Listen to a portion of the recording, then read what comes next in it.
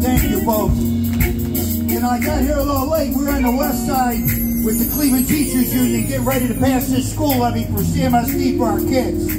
You know, and it's uh, they're talking about right now in, in Cleveland, they're beating up on us. They're saying Cleveland doesn't vote.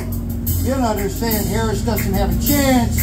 The Republicans are coming out strong against Sherrod Brown. And we have property taxes, which are making it difficult for our, our, our homeowners to vote for a school levy.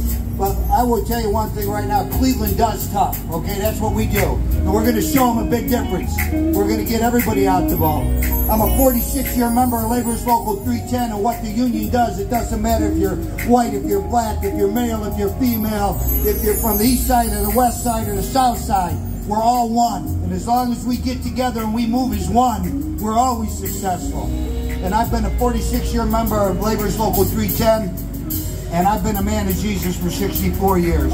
So let, us move on. Thank you. My dear friend,